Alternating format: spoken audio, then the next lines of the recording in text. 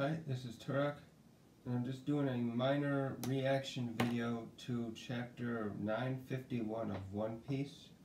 I'm not sure exactly when it came out. I've seen chapter reviews up on YouTube by like Joy Boy and Tekking 101 already, and uh, I just finished it myself. And uh, minor spoilers right now, or kind of major spoilers if you haven't read it yet. Don't go on past this point. But I wanted to comment on how, with the Yonko, Oda kind of has these pairs going on.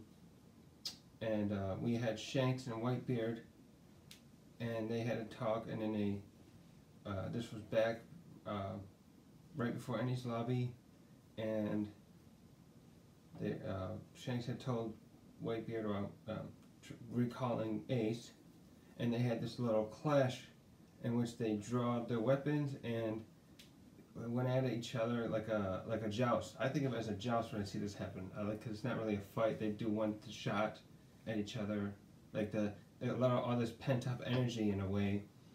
And uh, in this chapter, this is with spoilers. Now I'm going to actually roll it out.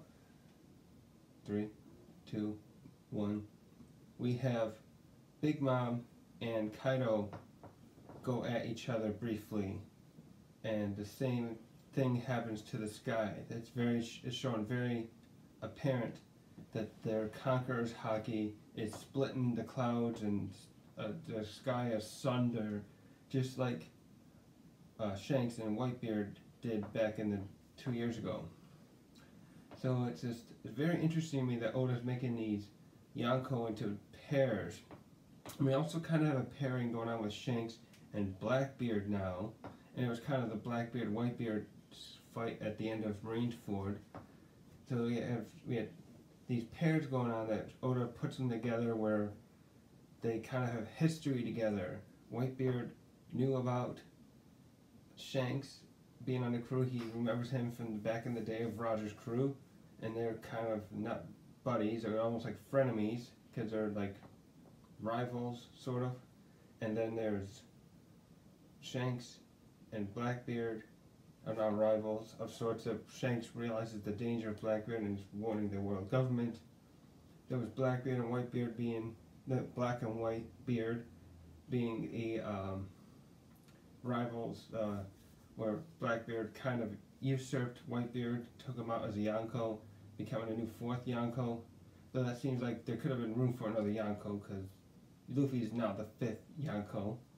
But back to the subject. It's interesting how Oda has paired the Yonkos into, together into these groups where they have a history together, and we know that Big Mom and uh, Kaido were crewmates once before, and this is very interesting in this chapter. A little more spoilers. That what happens here is Big Mom is released from her shackles, and her and and kind of lets her uh, kind of have a fair shot at him before he would uh, want to kill her. He warns her the guy would kill you, and then they go at it. Uh, so I can't wait to see how this is going to go down. And if you guys read the chapter, you're probably excited as I am. I'm, I'm like, ooh, the excitement is there. It's almost like goosebumps. It's like, holy crap, what's going to happen next? Are they going to destroy the destroy Wano before it can even um, the final battle to happen at the festival? Well, we'll have to see how this plays out now. Anyways, enjoy the chapter.